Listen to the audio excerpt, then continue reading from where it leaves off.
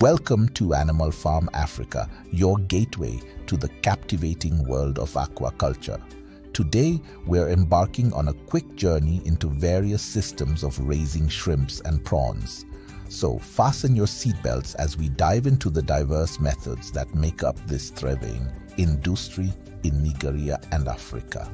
First is the pond-based farming. Our voyage begins with the most common method, pond-based farming. Here, expansive ponds are meticulously crafted to nurture and raise these delectable crustaceans. It's an art that's been perfected over the years. Next is raceway farming. As we flow into the next chapter, we encounter raceway farming. These intricate channels allow water to flow continuously, ensuring efficient water use and simplified waste management. It's an elegant dance of nature and technology. Next is tank-based farming. Our journey takes a turn as we delve into tank-based farming, where shrimps or prawns thrive indoors within specialized tanks. Precision and control are the name of the game here. On to the next, which is Integrated Multi-Trophic Aquaculture or IMTA for short. Shrimps or prawns coexist with other organisms like seaweed or fish, creating a mutually beneficial ecosystem. It's a true ecological marvel. Next is biofloc technology. In the heart of our adventure, we uncover biofloc technology. Here, microorganisms in the pond water team up to break down waste, reduce water usage, and supercharge shrimp or prawn growth rates. It's the microscopic heroes at work. Next is recirculating aquaculture, systems or RAS. As we plunge deeper, we encounter RAS. This high-tech method uses closed systems to raise shrimps or prawns with water continuously filtered and recirculated.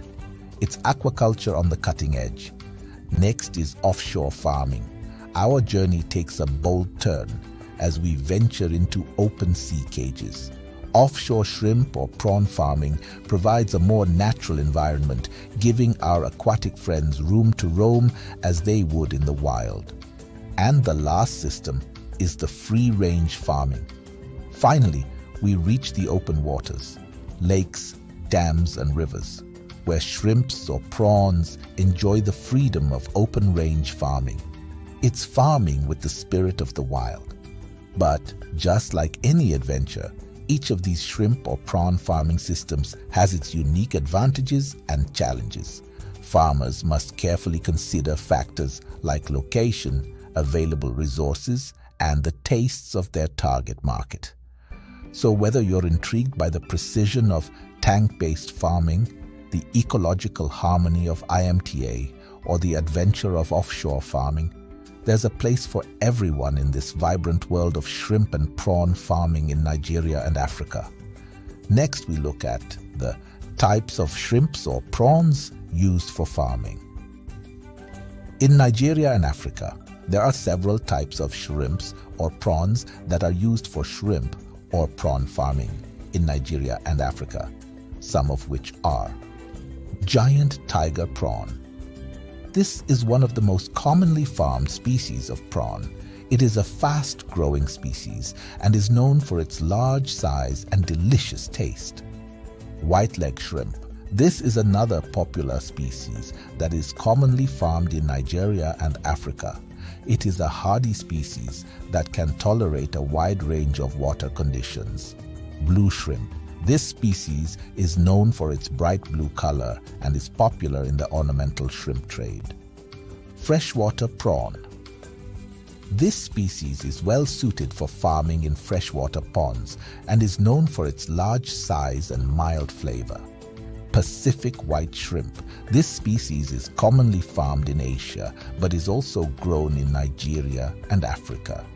It is known for its fast growth and high yield. Indian white prawn. This is a popular species in India, but it is also farmed in other parts of the world, including Nigeria and Africa.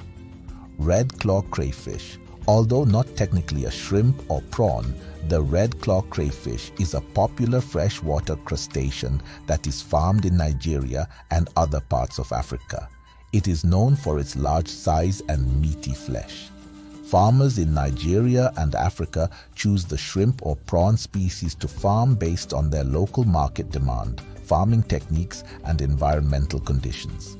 Each species has unique growth patterns, feeding habits, and water quality requirements, making it important for farmers to select the right species based on their farming conditions and market demands. And finally, on today's episode, we look at the rearing and breeding seasons for shrimps or prawns in Nigeria and Africa. Shrimp or prawn farming in Nigeria and Africa requires careful consideration of the rearing and breeding season. In general, the rearing season for shrimps or prawns in Nigeria and Africa is from November to May, while the breeding season is from June to October. This is due to the fact that shrimps or prawns reproduce during the rainy season when the temperature and water quality are ideal for breeding. During the rearing season, shrimps or prawns are stocked in ponds or tanks and grown to a marketable size.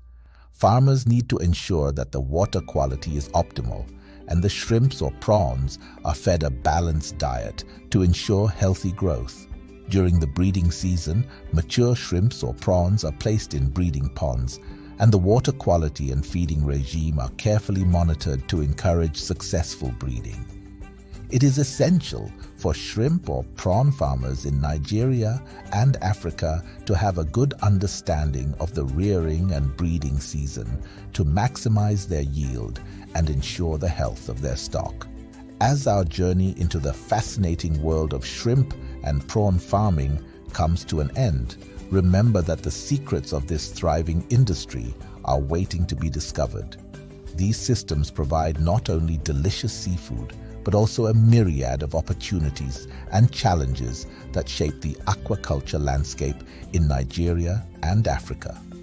Join us on Animal Farm Africa for more insightful explorations in the world of agriculture.